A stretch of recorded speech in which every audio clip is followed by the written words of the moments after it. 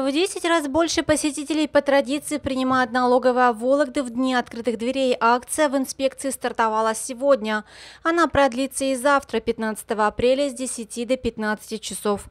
По традиции в эти дни волокжанам помогают заполнением налоговой декларации, отвечают на вопросы по налоговому законодательству. Они могут воспользоваться и консультации у работников, увеличено количество и компьютеров, и гостевых, и работают интернет-сервисы, то есть можно подключиться к интернету, воспользоваться сервисами налоговой службы, получить консультацию, узнать о задолженности, узнать, обязан или нет представить декларацию и тут же ее сдать, соответственно, в срок установленный, и уплатить, соответственно, налоги не, не позднее 15 июля, так как это срок уплаты налога на доходы физических лиц по данным декларациям.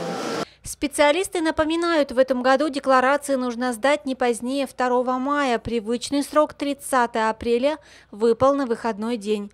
Отчитаться должны физические лица, продавшие транспортные средства, имущество, земельные участки, которые находились в собственности менее трех лет.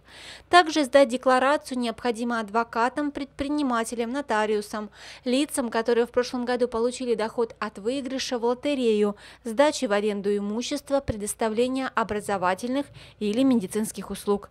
Еще один важный нюанс, о котором нужно позаботиться сейчас, это заявить о своих льготах, которые необходимы для правильного расчета налога на имущество, транспортного и земельного налогов.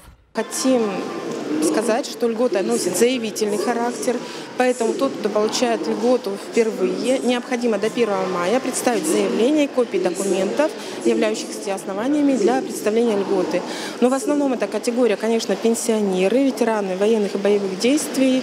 Но это основная категория. Подать заявление на льготу можно в любую налоговую инспекцию по своему выбору. Сами налоги волокжанам нужно будет оплатить до 1 декабря.